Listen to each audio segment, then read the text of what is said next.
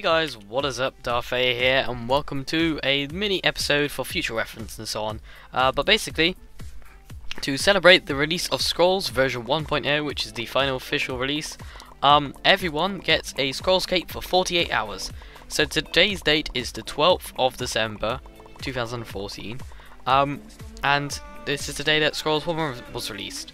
So everyone appears with a cape by default, you can toggle it on or off, and it's from today, Thursday, until tomorrow, I believe, because it lasts for 48 hours.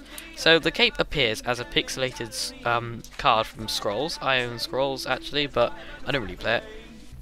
And on the underside, so if I just fly along, uh, you'll see as it lifts up, there is an S on the underneath, which is the Scrolls S, which is pretty neat. Uh, so this is only temporary, no one gets to keep it permanently. It acts exactly the same as a Minecon cape. Uh, you can wear a chest plate, everything else exactly the same and it's really really cool.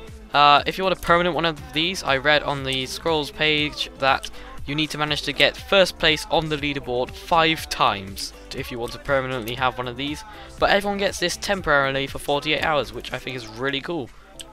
I like the look of it, even uh, like it's pretty.